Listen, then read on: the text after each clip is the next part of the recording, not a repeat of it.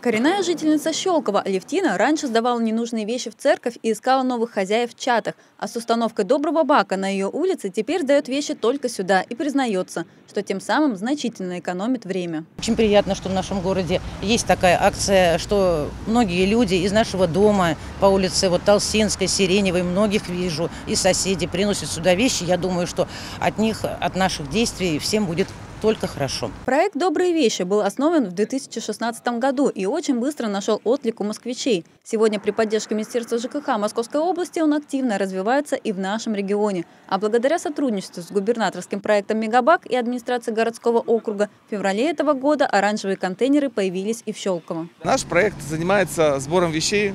Дальнейшие эти вещи э, реализуются, продаются на вырученные деньги от продажи да, мы приобретаем средства реабилитации детям-инвалидам. И также мы выдаем сертификаты на получение одежды нуждающимся. Проект помогает мамам и папам-одиночкам, многодетным семьям, инвалидам и опекунам. Здесь слышат просьбы о небольшой помощи, которые зачастую игнорируют в благотворительных фондах. Мама, у нее два близнеца, инвалиды. Были проблемы при рождении, и получилось так, что два мальчика родились с ДЦП. Вот. И мы первый раз им помогали, тутора приобретали, чтобы мышцы не атрофировались. И сейчас она к нам обратилась, мы также собираем, сделаем сбор на приобретение двух колясок. И она второй раз уже, получается, к нам обратилась. Ко всем обращалась, но говорит, как бы вот как только вы сделали, больше никто не помогал. Так ненужные вещи, попадая в этот жизнерадостный оранжевый бак, становятся самым что ни на есть добром. А вот как устроена механика этого чуда превращения.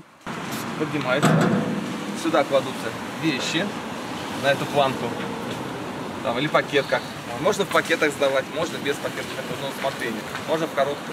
Вот. И после этого а, планка поднимается вверх, и вещь опускается и падает уже непосредственно в контейнер. На сегодняшний день в Щелково установлено уже 12 добрых баков. Все они, по словам Виктора Баженова, очень быстро заполняются, и вывозить содержимое приходится каждые 2-3 дня. Не пора ли и вам разобрать шкаф и избавиться от ненужных вещей, подарив им возможность сделать доброе дело? Адреса добрых баков вы видите на экране. Виктория Мельник, Александр Аржевский, Щелковское телевидение.